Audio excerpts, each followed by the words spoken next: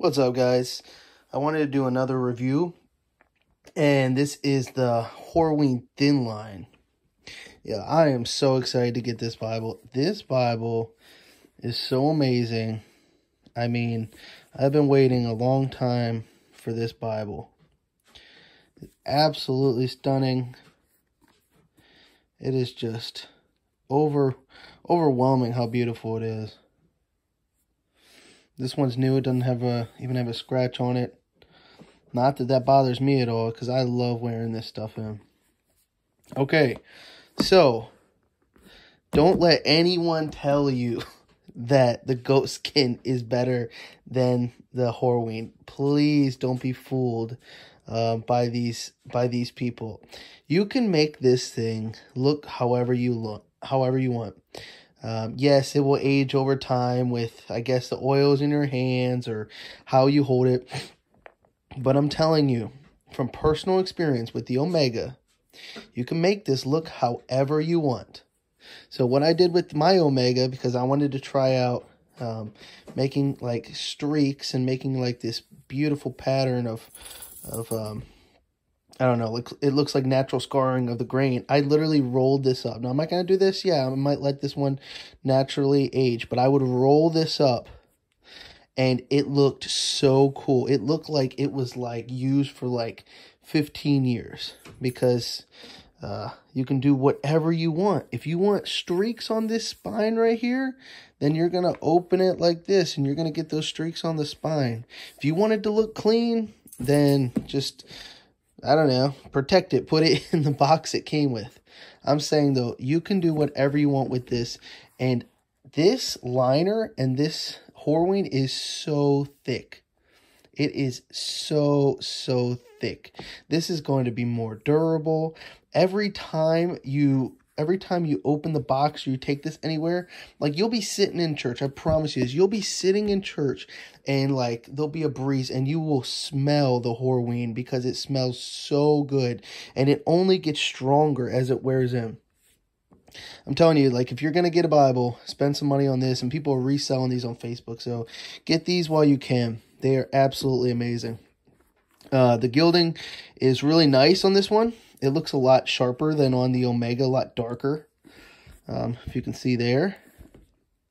It's really nice. By the way, guys, always keep your ribbons like this if you if you don't care how they look because it won't scratch that gilding underneath. I always do that. Keep them a little bit raised or you'll start seeing white right there. Um, these ribbons are pretty pretty garbage, um, but they are like double-sided satin. So I mean, it is what it is. I don't care about ribbons, but if you do, then you might care about that.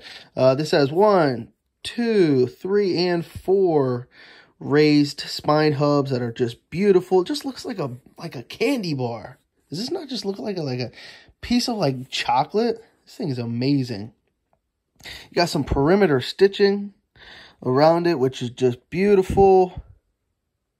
Stunning. Stunning, I'm telling you. All right, so the liner. Liner's really nice. Some people have been saying that this is synthetic. This is not synthetic. Um, this is this is probably a calfskin, I believe. Um, and I'll tell you this. This is the only Bible that a month from now, this Bible will feel completely like 1000% different, like 1 million percent different than what it feels like right now. People sell these because they don't know how they turn out. These are literally the most beautiful Bibles. Um, so you guys know what a thin line is though. The this is like the most perfect um, the most perfect text block and font size and personal size carry like this Bible, I'll tell you this guys the PSQ, the personal size Quentel, is the number one personal size carry before this came out. I am 100% convinced that this Bible is going to be better. It, it's just a tiny bit bigger. It's thinner. It has better quality in the in the Horween. This is the perfect size personal carry Bible, and it beats the Schuyler Quentel personalized Quentel. And if you have one or you know about them, then you know how big of a deal is that this Bible tops that. Um, but the text is just perfect. I, I think it's like an, I don't know. I, I should look up this stuff before the videos, but like an 8 point, I don't know. Yeah, maybe like a 7.5, an 8, something like that. Just perfect. I mean, just great. Um, the corners aren't great, I'll tell you that. They're kind of whatever. I don't care about that. The perimeter stitching will keep them in there. But the corners aren't great. Uh, be aware of that. Uh, other than that, it's just a normal thin line. Just so, so nice. Let me give you a size comparison. So this is the NIV, um, the NIV thin line, which is a pretty good Bible too. You can get these super cheap. Uh, but here's the here's the size comparison. All right, so significantly shorter. By the way, this NIV is literally the same size as the Omega, so this is like me comparing it to an L, to the Omega. So essentially the text blocks are about the same because this Horween's so thick. Oh, guys, I'm telling you, there it is, the perfect size. Smaller than the Omega, not the Omega once again. I know, I know this is not the Omega, but it's the same size as the Omega. So let's pretend we're comparing it to the Goatskin Omega. Text box is great. The gilding's better. So this is great, guys. Uh, if you can get these, I, I promise you purchase it because there will be a time when these will absolutely go crazy in price. All right, guys. Hope you have a great night.